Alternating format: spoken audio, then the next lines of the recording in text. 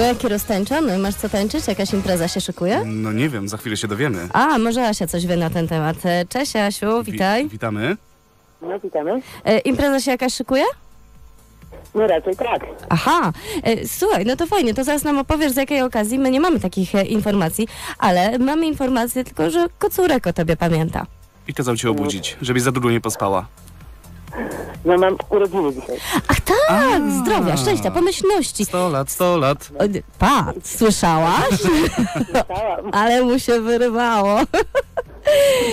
Asiu, wszystkiego najlepszego, to ja mam dla ciebie taką informację. Ty zachowaj dzisiaj czujność, bo nie wiem, czy wiesz, e, może nie wiesz, ale zapamiętaj.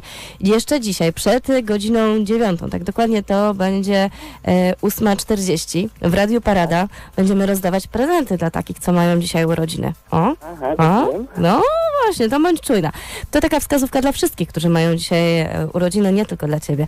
Ale skoro ty masz urodziny, to my mamy już teraz dla ciebie prezent. To jest zaproszenie do klubu Pewex. O, Potańczysz?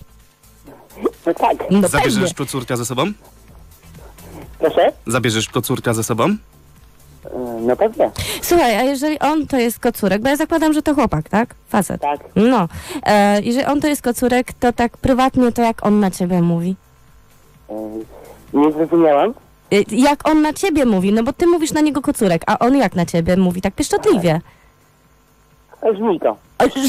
O, pieszczotliwie miało być. Pieszczotliwie pozdra... Przepięknie, Żmiko, to jest absolutnie cudownie. Żmiko, pozdrawiamy Cię, super.